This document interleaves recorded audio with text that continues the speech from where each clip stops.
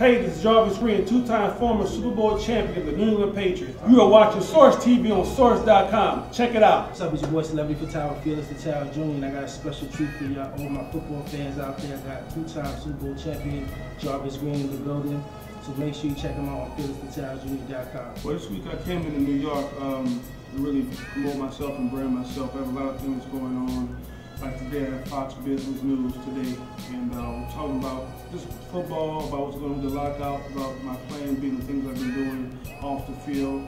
And also have a cooking show coming up, uh, Better TV. I'm doing that tomorrow and cook a little dish and, and also talk about my personal experiences. I'm gonna be hosting a few draft parties uh, out here in New York. Very important to stay very busy, man, because uh, our, our, time is the devil's workshop. I'm here in New York and just having a great time. You know what I mean? The first one is always your best, man. Uh, I was in my second year in the league, and and it was great because the, the, the AFC Championship game, I had two and a half sacks against Peyton Manning. So it really felt, felt special to me because I had a lot to do with that, was going to the next round. The one I hate the most, damn, after going, what, 17 and 0, or 18 and 0? 18 and 0, need to get the Giants, man. Great game, though, man. I couldn't, I didn't sleep for two weeks after that game.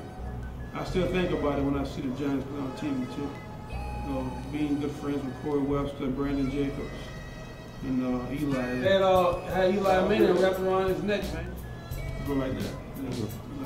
Right now, with football uh, being at, at, where it's at now, I know for me, I've been doing a lot of things. I bought into a construction business about a year ago. It's uh, going very well for me right now. That's my plan B. My construction company is called First Millennium Construction. I bought in uh, with uh, the owner of the company. His name is uh, Nathan Osley. So that's been going pretty good. I've been trying to do a lot of things with uh, LSU, local communities. I've started internships and also hopefully the NFL, I can start something with them to help uh, some of the players, uh, retired players in the area and also those players who need those summer jobs to stay busy. I got my foundation, the Jarvis Green Foundation. I started right after Hurricane Katrina. Uh, lost a lot of family members. I can remember uh, doing different things in the New England area. Uh, got the Ron Burton Award in 2006. It's a big, a big thing out there uh, in the New England area. And I know after that happened with the Katrina, I said, hey, let me go and start my own foundation. Let me help disadvantaged single working mothers.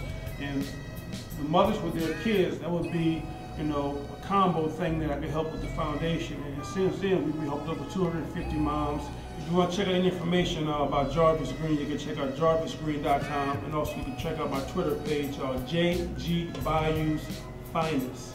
JG Bayou's Finest. And also become a fan of Jarvis Green fan page. All right, that's a wrap. Special thank you to Anthony and Open Your Eyes Entertainment today for coming through and showing us love with the footage. SourceMagazine.com.